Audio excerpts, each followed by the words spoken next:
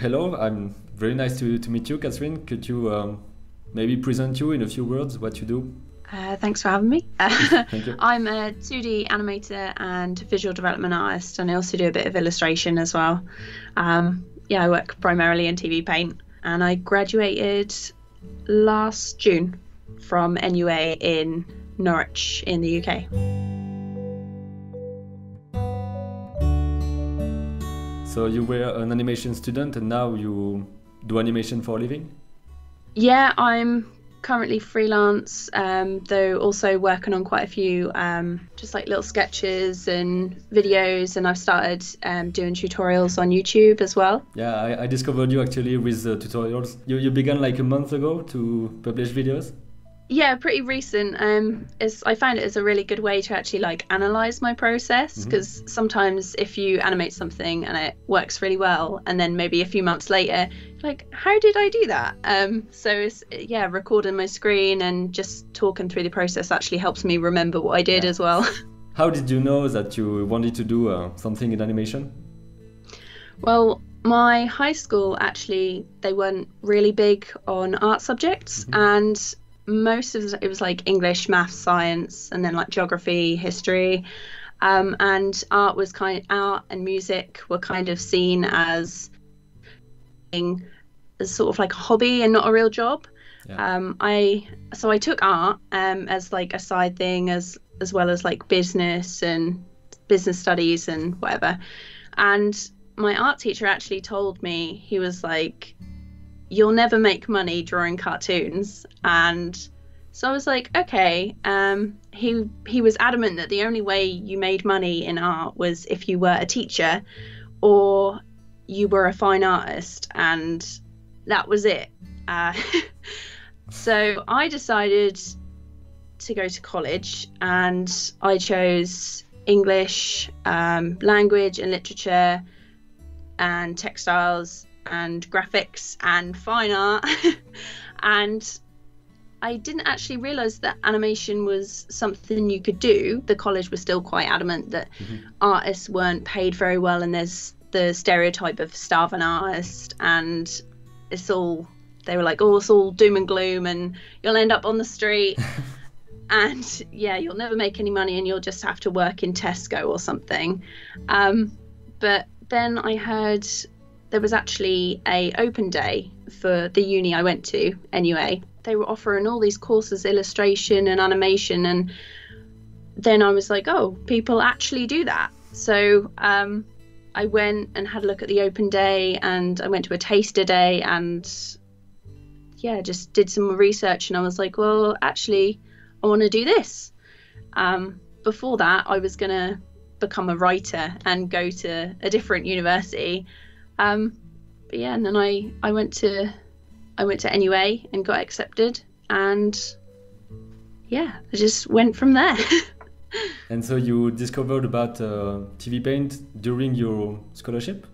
yeah, um, I had a look at software and I tried Flash, but I didn't really understand it. And Toon Boom, I hadn't heard of until I went to uni.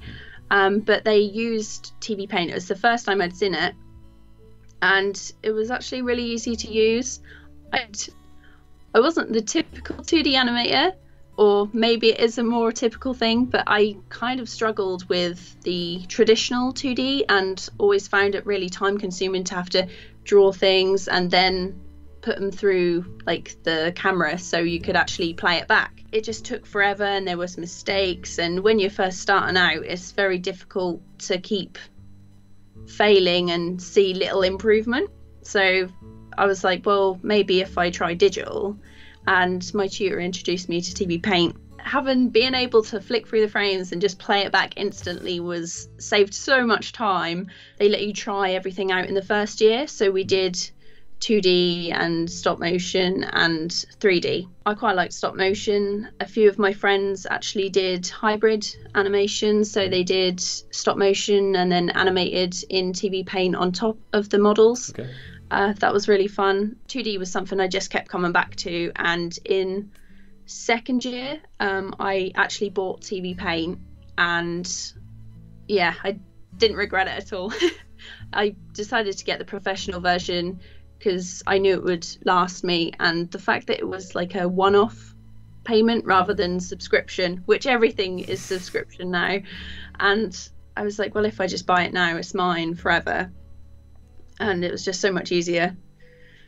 I, I literally use it every day, even on my days off.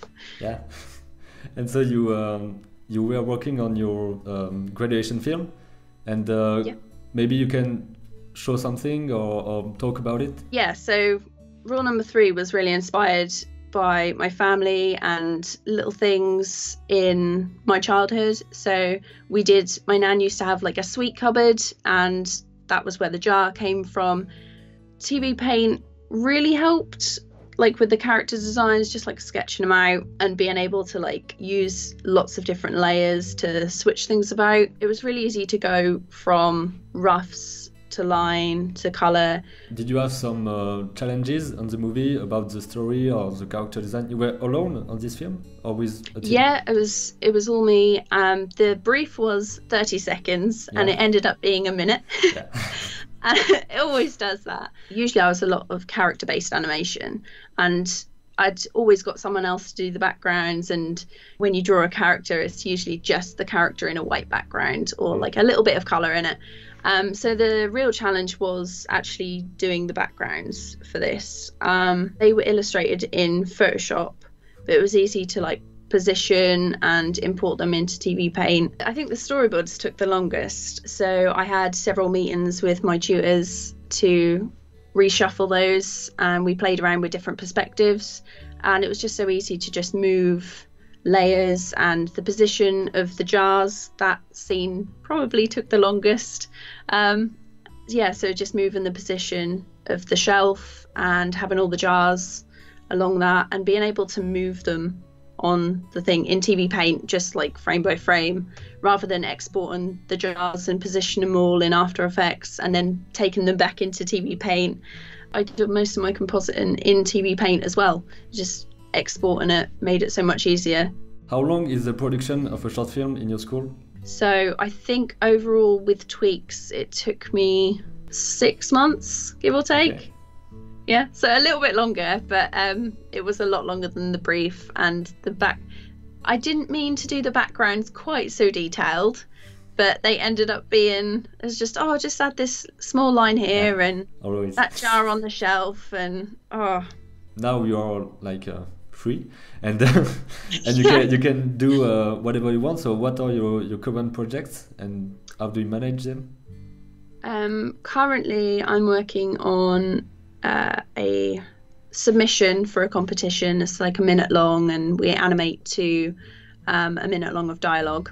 And I'm working on that with several people Jack Hale, um, James Iver, Ed Clark, who are also in Watt Productions, which is our animation collective, and we all use TVPaint. in our second year of uni, my friend James actually directed a short film called Panoramic for Channel 4 Random Acts, and that's on their YouTube channel. And it was shown in a couple of festivals over the UK. And it was a 3D, 2D hybrid. They did the backgrounds in 3D and they had a 3D model of the character, which they used toon shading on in Maya. There's like several floating screens that we did animations in 2D for TVPaint. That was a lot of fun. It was a lot easier to use a 3D background um, and then animate on top. So it's something we're looking forward to doing again. So now you are in a, a, a it's a collective, a studio. It's a Watt production, and uh, Yeah. how did you create it? it? It was just after school you decided to team up. yeah, so we decided that we worked well as a team. We'd already ironed out several bugs um, and processes during uni because we'd worked together before. And we decided that why not use that and go into the freelance world and just keep making cool stuff together since we enjoyed it so much. We're all remote and we contact each other online and send briefs and use Dropbox to send each other files. Maybe your your goal is to like have a, a studio somewhere to to work. yeah, we'd we'd love to have uh, a studio somewhere. Um, we're kind of torn between Norwich and London.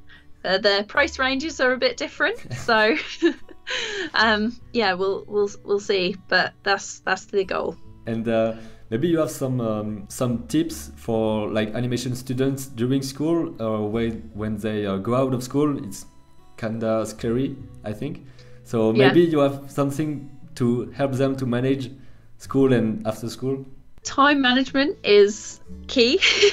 um, even if even if so when you're in school it's really important to just have at least an hour a day. Even if you don't feel like drawing, if you do a single drawing, you're better than you were before making that drawing. If you've got a short film, you've got like three minutes to do, and well, no, no student has a three minute film. yeah, not the long if, if, yeah, if you otherwise they'd be like crazy. But um, if if you have a minute of a film to do and you're halfway through and you're really struggling, sometimes it is easier to take a day off like self care is so important. And if you're feeling drained and like go outside for a walk, um, actually eat some dinner. I skipped so many meals in uni because I was just I was just drawing. And the same is kind of for after uni as well because you're animating and trying to get your portfolio to be so much better. Um, but yeah, definitely take some breaks and don't beat yourself up about it. If you're not where you wanted to be or you had you thought you were going to get a job straight out of uni it does take a little bit of work but you will get there if you just keep going and be persistent. That's some great tips and uh, uh, that was good. Uh, i wanted to know about like uh, you're talking about portfolio and maybe making you uh, known from people who can hire you so mm-hmm. what do you think about sharing on social media because you and other artists from uh, Watt Production are sharing many things on Instagram yeah. and Facebook? I think social media is really important so you can see other people's work and get other people seeing your own. And if someone likes your page or your photo or like an illustration you did, it's a lot easier to start a conversation with that person, particularly if there's someone whose work you admire or if they're a young artist and they like your work and they ask for tips.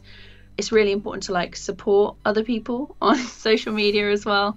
Um, just getting your work out there is a lot easier than just having a portfolio site because no one knows no one's going to search Katherine Dallimore animator or illustration and find my website. They're going to look on the tags of Instagram and Twitter and just go through the tags and, oh, uh, Katherine Dallimore, KD Sketch is posting this. I like the look of this. Let's have a look at her profile.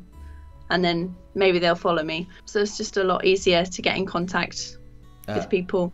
I think people from not social media age, I imagine them as uh, like struggling to, to contact people, uh, having to go uh, door to door to uh, to find work, but now you just have to to make a tag and take a picture. The animation community is really really helpful and so kind and they've answered quite a lot of questions that I've had before. So I was convinced when I was at uni that there was some big secret to make an animation and a film and they just weren't telling me. And it turns out it's not as hard as you think it's going to be. The only thing stopping you from making animation is you and it's so easy to get started but so hard at the same time so i I'd never actually animated anything until i applied for my uni um, I'd, I'd done characters and portraits and uh, graphic design but um, just getting started was the biggest thing. And so you can get some what are they called? Post-it notes and mm. do like a little flip book or a notebook and do a flip book. And you don't have to have any special software until maybe you look into it later or you start uni. Um, but there's a lot of stuff out there there's a lot of tutorials that people can use and just starting to animate and get going is top tip. Later on you start learning how to work with people. So like you do your work on time and you name the files correctly. And yeah, and you just answer their emails when you email when they email you. So that is is they do it in kind of baby steps, and each of it pre- each step prepares you for the group projects later, uh, and then obviously working in the real world.